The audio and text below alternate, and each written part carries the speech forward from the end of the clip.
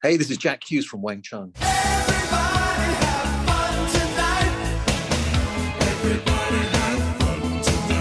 You're listening to the New Wave Music Podcast.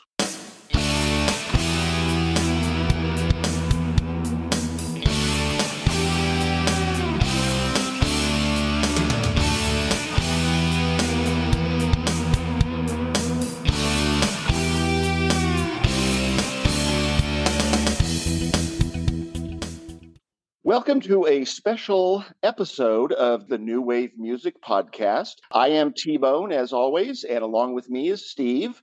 Uh, we are thrilled to have a special guest uh, with us today. If you recognize Dancing Girls, So bring on the dancing girls.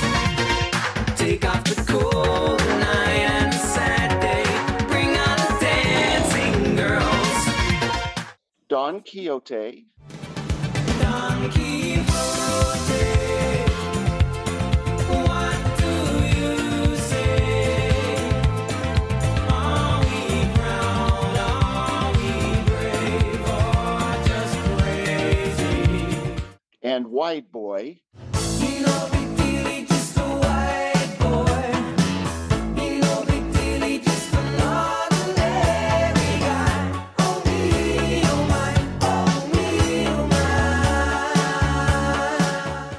You'll know that we're talking about Nik Kershaw. Nik, welcome to the podcast. Thank you very much, guys. Good to be here. So, Nik, we've asked other artists if they ever get tired of playing their older hits. All have said that they don't because those songs were made, those songs made them for who they are. What are your thoughts on this subject? Yeah, I think you'll probably hear similar from me. Really, I, I think every artist goes through a stage of uh, of been a bit fed up with them over the years, and, and and at some points resenting them. I think I did sort of when I started making records again at the end of ninety, end of the nineties into the two thousands. It, that it, yeah, it was kind. Of, it became a problem. Really, the old songs were kind of distracting, and every, everybody just wanted to know about the old days and you know how how big my hair was and and all that kind of stuff. Which was, you know, and, and I kind of, I, I I must admit, at the time, I thought, you know, we, I, it would be good to start again if I could start again with these new songs and and people might pay attention to them. And you know, this is great. Please listen to these songs. But you know what? I, once I came out the other side, uh, then you and you suddenly realise um, wh- what a, what a great thing those songs are. What a, um, and and exactly they've they've they've brought me to where I am today. They've they've they've enabled me to have a a, a long um, career in in writing and, and making music. Um, and if it wasn't for those songs, I'd probably still be working in a in an unemployment benefit office. Uh, one of our listeners kind of had an unusual question, but I thought it was interesting. How do you feel about wouldn't it be good?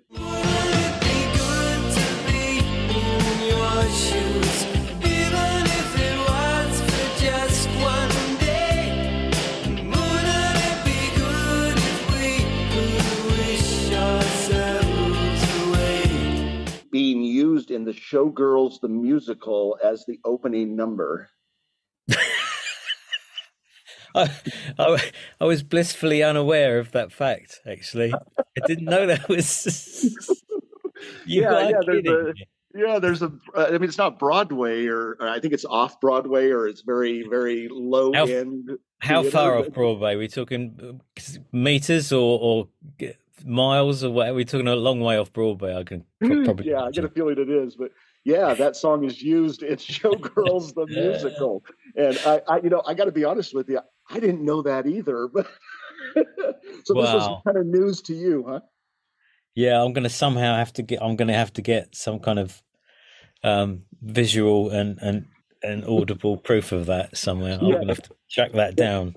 You also might want to talk to your attorney and see if you can get some residual. well, I'm sure there's, it's all done all done through the proper channels. yes, exactly. And Nik, speaking of wouldn't it be good, another question one of our listeners had had they were curious about the song was featured in Pretty in Pink, but yet it was a cover.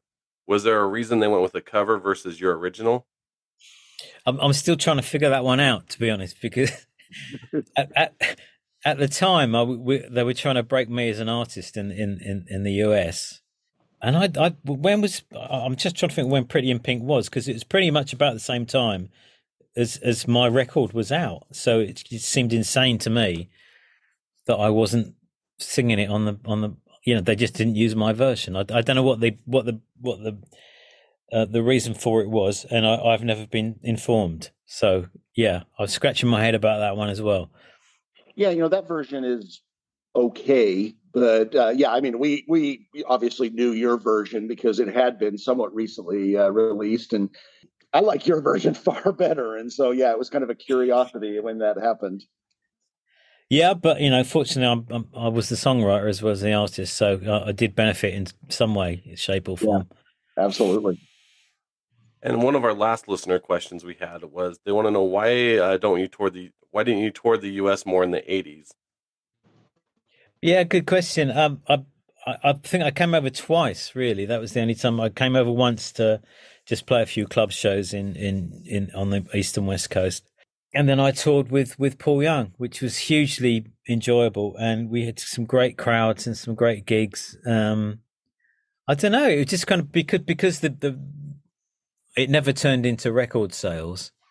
Um, it was all, always an issue for promoters, I think, to actually sort of put their money behind any any kind of touring. So it just kind of it never happened, and I was I kind of was busy touring places where I did sell records. Really, that's that's kind of the simple answer to that question.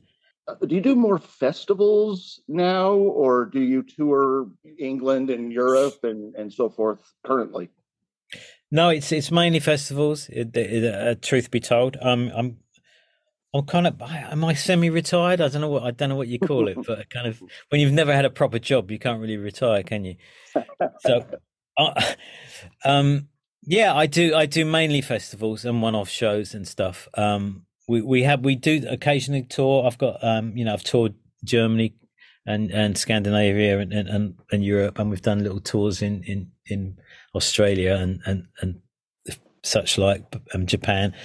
But um, it's a and nowadays it's just a very very expensive thing to do to Mm. tour, and it's it's it's um it's and it's getting even more expensive. We're trying to put a tour together now for you know sometime in the next couple of years in the UK, and it's it's it's proving um you know problematical as far as uh, money concerned because it's literally all about putting bums on seats, and you have to put more bums on seats nowadays to do a tour than you did um you know even five years ago. It's kind of interesting that you mentioned that because we recently saw Midge Ure.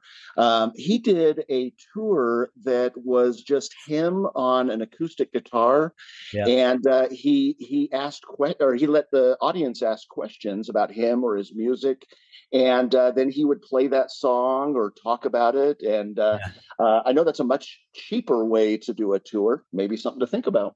It, it certainly is, and I I have done uh, similar things over here. You know, I've I've done a sort of acoustic shows, although I have to say it's quite terrifying. Just being, but, it's it's very you feel very exposed and vulnerable sitting up there Oh, I on your own.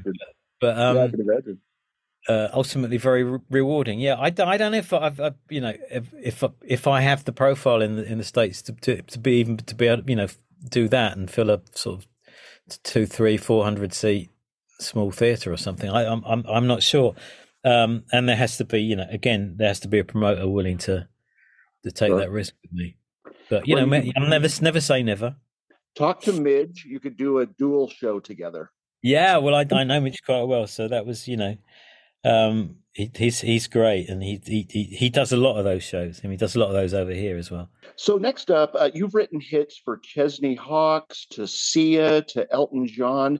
Uh, but who is the most unusual, or or maybe the better word is unexpected artist that you've collaborated with? And you, oh, I don't. I mean, f- first of all, can I just set the record straight on that written hits for Sia? That's no. I've written a song with Sia, but it's still sitting on my shelf, so Ah, it never saw the light of day. But it's um, and I think it's a pretty good song. But there you go.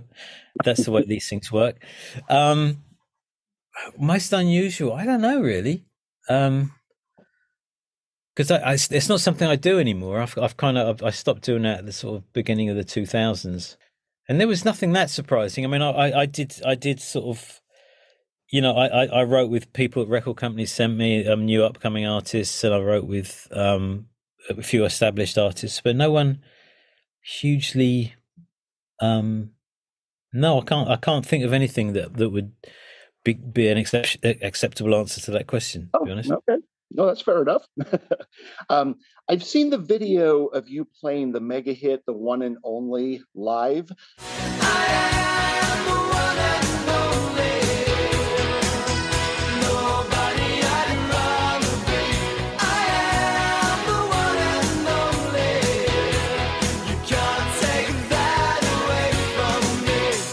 Even though you wrote it for someone else, it, it really, of course, has that Nik Kershaw sound. Have you ever thought of recording it for one of your own albums? No, not really, Uh, and and it was never it was never meant for me in the first place. When when I made made a decision at the end of this the uh, the eighties, sort of eighty nine time, to take a step back and, and just concentrate on songwriting and production. Um, that was pretty much the first song out of the out of the can, and it, it just. But even at the time, I remember sort of hit, listening back to it and thinking, "Yeah, that's that, that's okay," but it sounds a bit something I might have recorded sort of 10 years previously. It didn't seem like I was making, you know, breaking any glass ceilings or anything. So I, I kind of, I just stuck it on a shelf for, uh, for a few years. And then, and then Chesney's dad came along and, and, and discovered it and, and the rest is history, as they say. And I do play it live because it's a great song to play. And I, I, and it's always good to have a few hits under your belt when you're, when it, you're doing a live gig just to keep people engaged. And I just love playing it and sharing it with, with an audience, you know, but, uh, um, I recently remixed it for for Ches and, and and brought it a little bit into the um the 21st century. But um it's um yeah it's weird. I don't i can't unless i think of something really dramatically different to do with it no i probably wouldn't record it again. Are you surprised how uh, big a hit that turned out to be for him? Yes, I was, and there were a lot of people around Ches that were surprised about it as well. Because uh, when I think when Len uh, Ches's dad discovered it, he took it to the to the film because it was a it, it was a film soundtrack that the, Mhm. that it was all based around, and he took it to the film people and said, "Look, I've got this song, and we could use it to promote the record." And none of them really were really up for it at all. So it was it was. It was um it was really Ches and and his dad that that pushed the whole thing. Um, and yeah, I'm al- I'm always surprised when when when something is ex- as successful as that. You know, it's never it's never something I've ever taken for granted that that's going to happen. Absolutely. Um, and and no, that was that was really quite a, unbelievable. eh, That that that few, you know, that sort of six week period when it was uh, climbing up the charts, and then and then it was there for like five weeks after that at, the top, at number one. That was that was pretty insane. And I did nothing. I just sat there and watched fly up the charts and watched watched Chesney do all the work. Let's talk about your new album. I think, Steve, you've got the next question. Yeah, so Nik, you wrote and recorded Oxymoron before the pandemic, yet many of the lyrics uh, seem almost to be directly related, such as the lyrics in The Chosen Ones. Here we are safe, we are wrapped in our bubble of disinfected trouble. We can't begin to know. The Yeah. lyrics wrapped in our bubble of disinfected trouble. Were you surprised by the coincidence? Uh, what can I tell you? I'm a, I'm a prophet. no, but that that is weirdly that seems to happen occasionally, you know. And you write you'll write a song that just kind of resonates with what's going on. I, mean, I think I think things are cyclic, and and and something's going to happen at some point in time that that relates to uh, some lyrics that you've written. You know, Mhm. Yeah. I've written lyrics in the past, and people have gone, "Is that about that?" And I'm going, "Well, not really. It just happens that that happened after I'd written the song. That's just no. It's it's it's it's it's um yeah. No, the, but the, you're right. There, those there are a few lyrics, especially in the chosen ones, that you think, "Oh, that's that's a bit spooky." but no. but I can't claim to have any divine knowledge or anything that you know. so, Nik, you're a multi instrumentalist. Uh, you, you play guitar, drums, percussion. You do drum programming on the new album. Uh, do you? But you know, you don't play everything. And do you have particular musicians that you like working with on your albums, or do you mix it up each time? I mix it up really because it's it's kind. I've always done this ever since the uh, you know because when I started making records, um, I didn't have a band. It was just it was just kind of it was me and and and a producer and an engineer, and we just bringing in session people when we needed them. And and and over the years, that's just kind of been the way I've done it because it's it's it's a luxury. You know, I, I love being in a studio and taking my time and getting things exactly how I want them. It um and and it's it's it's pretty much anybody's on the end of a telephone, really. I mean, I remember recording my fourth album in in Los Angeles, um, and the producer Peter Wolf just sort of picked up his Filofax because they were Filofax days, and just said, "Look, well, okay, who do you who do you want to, who do you want on drums then?" so I'm like, "Well, okay, Jeff Jeff he's quite good, isn't he? And uh, Vinny Colaiuta, I can have him, and and then you've got Jerry Hey, Larry Williams, all those guys are on the end of a telephone. You know, it's just it, it's insane. So if you can use these guys, I mean, why wouldn't you? This, so I've I've always I've I've I've always kind of done that, but I I mean more recently I've I've I've I've done a lot on my own uh, and built it up to a certain level, and then just sort of added musicians on on top of it, really, or just replace things with with musicians. But it's just it is nice using different people. Um, because it just it doesn't seem like the same process all the time. It just keeps me interested and engaged. You have said, I read this, uh, that writing songs doesn't come easier with age. And the 16 songs on Oxymoron, you're proud of each and every one of them. But do you have a particular one that stands out as a favorite? It, that kind of changes. I'll get, I get asked it. I've been asked it about three times in the last two weeks, and I've Oh. given a, a different answer every time. Partly because I can't remember uh, what songs were on Oxymoron because it's, it's two years ago and they've kind of gone, and partly because I've got I kind of I, uh, I, I've I have different reasons for liking things. I think one that I pick out is is Babylon Brothers.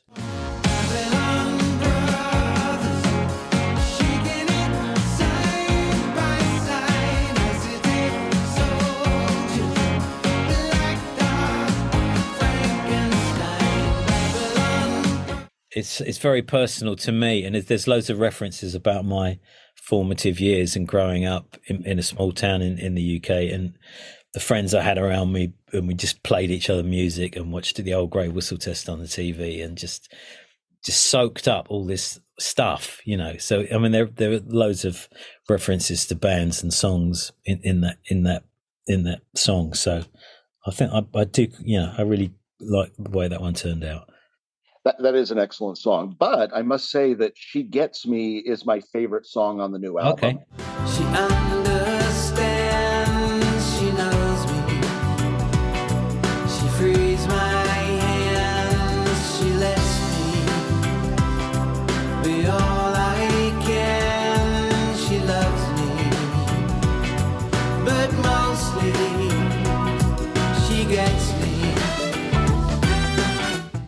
The Right. melody, especially during the chorus, is just stunningly beautiful. I absolutely love it. Um, what was your inspiration for this amazing song? Well, if I said anything other than my wife, I'd be in a bit of trouble, wouldn't I? Really? That's probably a good point.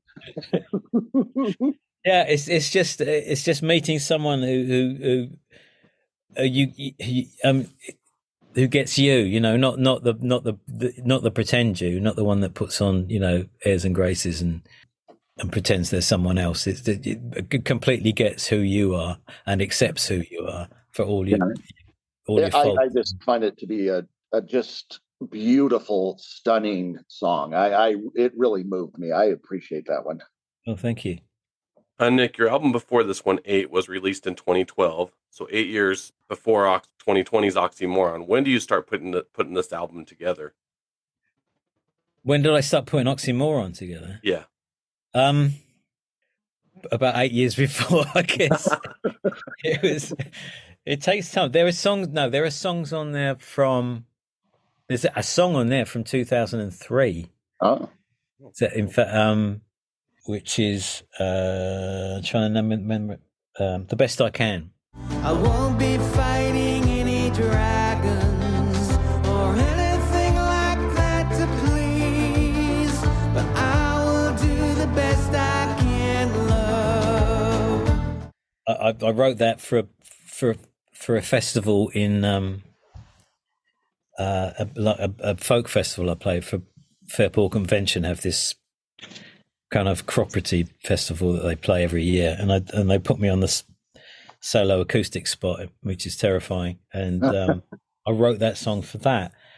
But um, was that 2000? No, that would have been 2010. Um, okay, it wasn't. Too, anyway, old songs. There were there was bits and pieces of songs from you know even decades ago, which which ended up on on the album. It's just that their their time hadn't come until that until oxymoron, I guess. But the bulk, a, a lot of them were written sort of maybe three years before release. They were kind of I've, it, it goes it goes dead in the water for a while, and then all of a sudden I'll have a, a, a burst of energy, and, and and there's a good sort of handful of songs on there that I that came out of just me sitting with an acoustic guitar and just and a, a microphone and just making noises for you know four or five days, and and then um and I and then there's another point where I sort of said well I was going to write a song a day for about two weeks, um having you know written one song a year for the previous two years.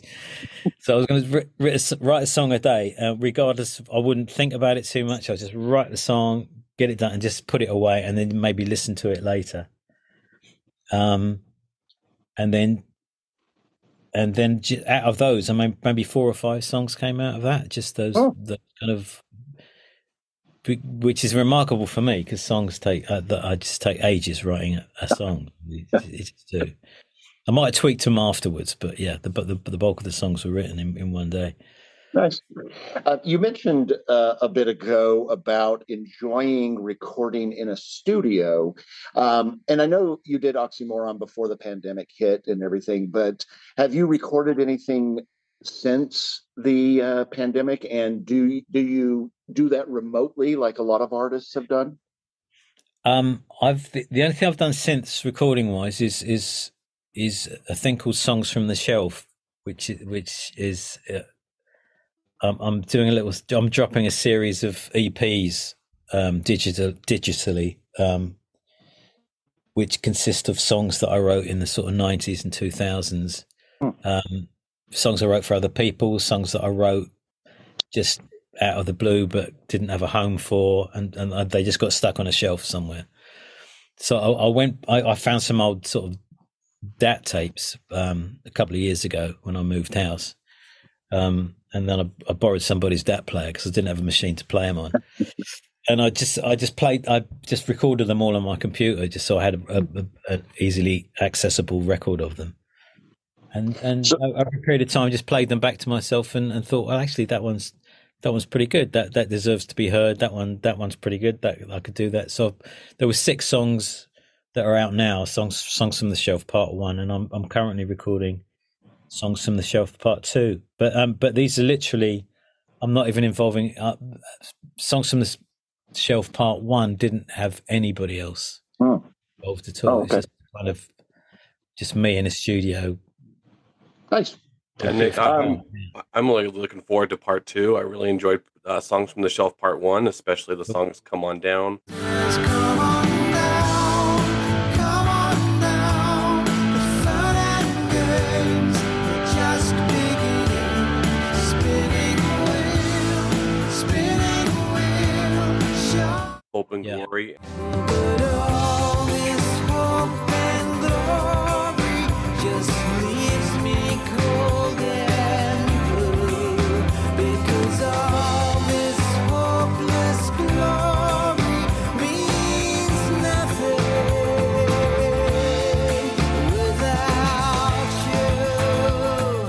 And to hurt the ones you love is But you scream and shout,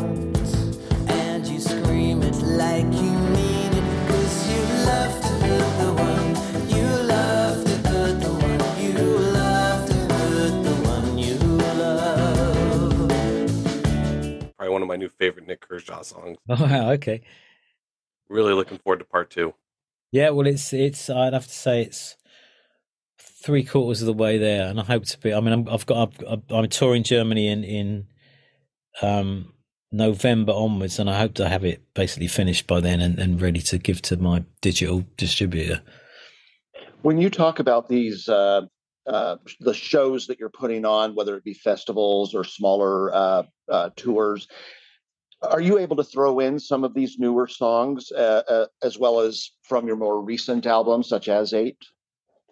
It depends on the on the festival, really. I mean, m- usually, mainly festivals. No, I, I wouldn't do that. I mean, you're on, you've got limited limited amount of time and and an audience that isn't specifically yours. You know, they haven't Hmm. just come to see you; they've come to see. You don't know who they've come to see, basically. Yeah. So it's the hits and things that they're going to be familiar with, and maybe I'll I'll slip one or two in there that that don't f- fit in fit in there. But um, but often my own shows, yeah. When I haven't done my own shows for a long time, but w- when I do, I've got a, an audience that's actually bought a ticket to come and see me, and probably has knowledge of those songs. So yeah, I'll I'll I'll I'll, I'll do I'll yeah a combination of. I'll, I'll still play the hits because I like playing the hits and they like listening to them. So I'll still do that. But you know, with my own shows, yeah, it's good to to be able to play some more obscure things. Right. Yeah, I'd really be interested in in what the reaction of the crowd is to the more more recent or newer songs because you know I mean, yeah, everybody wants to hear the hits and everything, but Yeah. there's some really quality songs uh, that you have done in the past, you know, 15 years that um, I I think crowds would really dig.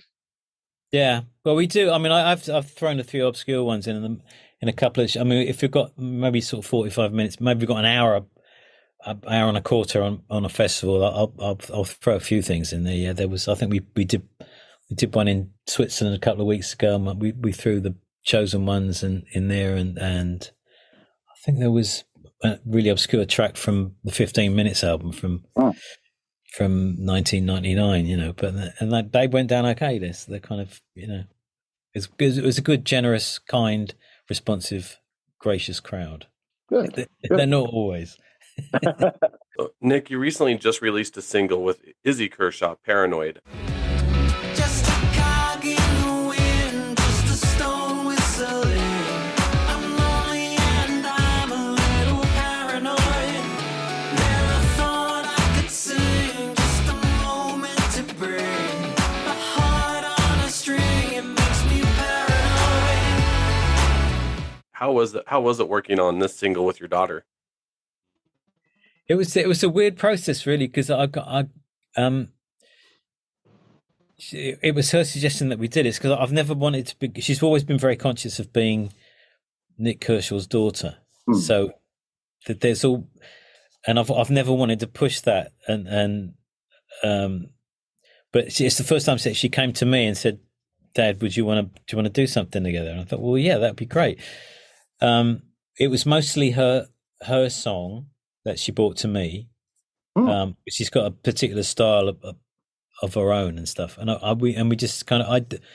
It was it's mainly her, m- m- mainly her, and I, I I have a little bit of input in the middle eight. I think I wrote a bit of the middle eight, and but she almost ninety percent of the guitars and and the and the production is is her thing, and I just kind of sat there and watched her do her thing really, and in fact probably learned learned more than she did from me, to be honest.